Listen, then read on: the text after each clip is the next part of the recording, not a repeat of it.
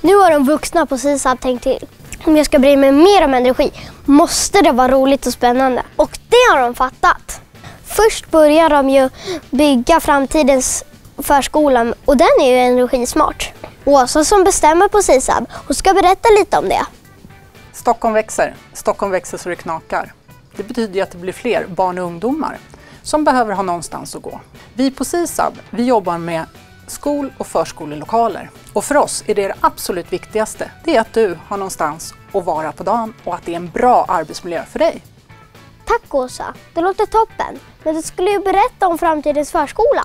Framtidens förskola är en fantastisk byggnad som vi är enormt stolta över. När vi skulle skapa den så hade vi ett jättebra samarbete med våra användare. Vi utgick givetvis från byggnaden där vi tog kontakt med ett antal byggexperter.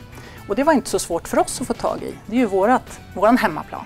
Men för att göra en bra byggnad så behöver man också ha mycket nära samarbete med de som planerar verksamheten och de ska, som ska bedriva verksamheten. Och I det här fallet så är det stadsdelen och sen så är det förskolepedagogerna.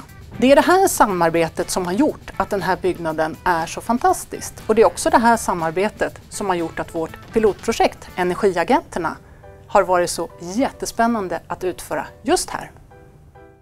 Vad kul att de vuxna leker med varandra. Jag och mina kompisar samarbetar jämt.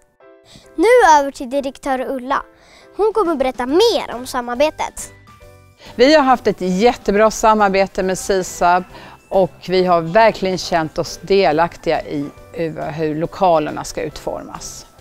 Vi vet ju alla att barnen är vår framtid och eh, därför är vi väldigt glada över projektet Energiagenten där man på ett lekfullt sätt lär barnen ett klimatsmart beteende. Och det här projektet ligger ju också helt i linje med stadens och förskolans mål. Så nu har de vuxna byggt smarta förskolor, men de slutar inte där? När vi nu bygger mer energisnåla hus behöver vi ändra vårt beteende för att få maximal effekt. Okej, hur hade ni tänkt göra det då? För att ta reda på hur genomförde vi en förstudie med stöd från Vinnova. Intressant. Berätta mer. Förstudien genomfördes tillsammans med pedagoger och lärdomarna ligger till grund för Energiagenterna. Energiagenterna? Det låter spännande.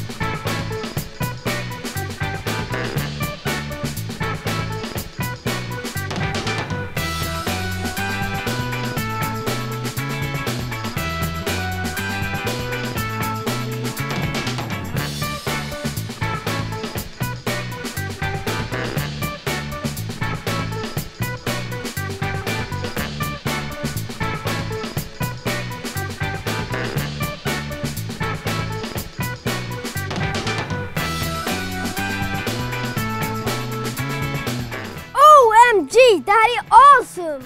Men vi måste också kolla vad förskolan tyckte. Energiagenterna har varit ett bra sätt för oss att börja prata om energifrågorna.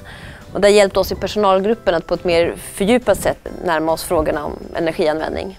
Och mötet med Agent Ström och Elboven det kändes helt fantastiskt för barnen. De blev nyfikna på vad som kommer hända och energianvändning, det är spännande.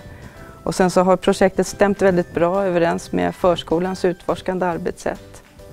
Det misstänkte jag, men har det gjort någon skillnad?